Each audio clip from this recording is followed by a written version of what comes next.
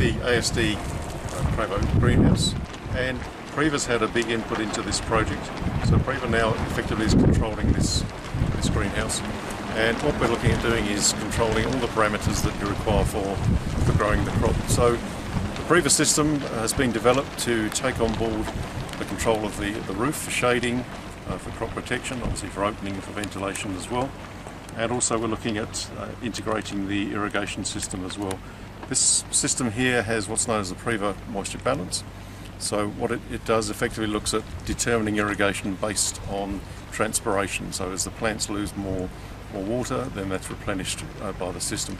The system is uh, totally say hydroponic, so it's controlling the nutrients, uh, it controls the EC and pH levels, and we've got the capacity to dose the plants to an optimum level.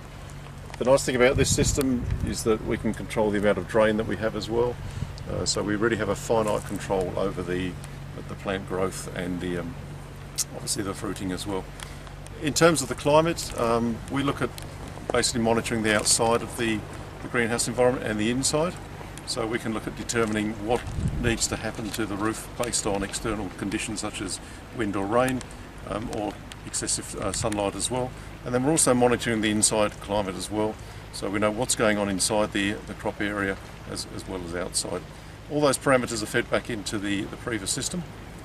And then we can actually see those, um, those figures on a, a either a graph or on a screen as well. So we have a constant monitoring process.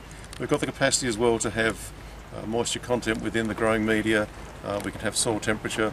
So we've, we have a number of things that we can say constantly monitor and update and the computer makes an informed decision as to what it needs to do next uh, based on what the grower wants out of the crop.